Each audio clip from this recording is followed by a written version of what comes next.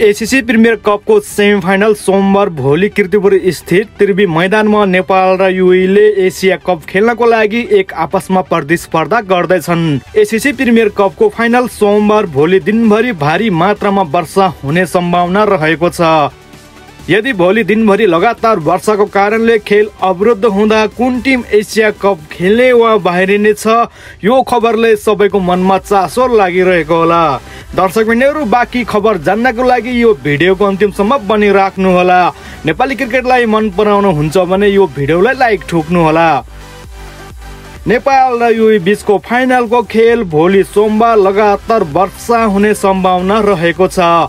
पश्चिमी वायुको साथै स्थानीय वायुको प्रभावले हिमाली तथा उपत्यका भूभागी क्षेत्रमा मेघ गर्जन सहित वर्षा हुने सम्भावना रहेको छ।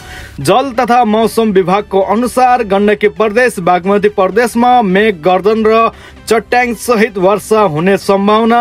जल तथा वायु मौसम विभाग मौसम पूर्वमान महाशाखाले जनाएको छ। त्यसैले आगामी बिहिबारसम्म वर्षा हुँदा नेपाल र युएको खेल भने वर्षा बाधक बन्नेछ। यदि पहिलो इनिङ्समा पहिलो टोलीले सबै ओभर खेल्दा र दोस्रो टोलीले कुनै पनि ओभर नखेल्दा डाकवर्थ लुइस पद्धतिको आधारमा टोली विजेता बन्नेछ।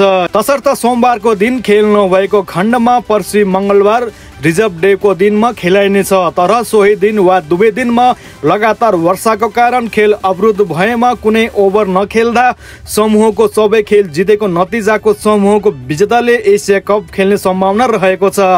यस खेलमा आइसिसीको एक दिवसीय वरियतामा माथिल्लो स्थानको टोलीले एसिया कपमा स्थान बनाउनेछ। आइसिसी एक दिवसीय वरियतामा नेपाल चौधौँ स्थानमा छ भने युई उन्नाइसौँ स्थानमा रहेको छ।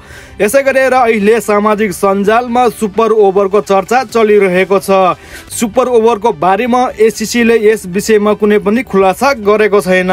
दर्शकबिनहरू क्षणिक वर्षा भएको खण्डमा ओभर छुट्याएर खेल्ने सम्भावना रहेको छ। आशा छ भोलि सोमबार युईलाई पराजित गर्दै हामी एसिया कपमा स्थान बनाउनेछौँ। यसको साथमा सोमबार र मङ्गलबार वर्ष भए नेपाल कसरी फाइनल जित्छ यसको बारेमा अवश्य पनि कमेन्ट गर्नुहोला। आजलाई यति नै। हस्त नमस्कार बाई बाई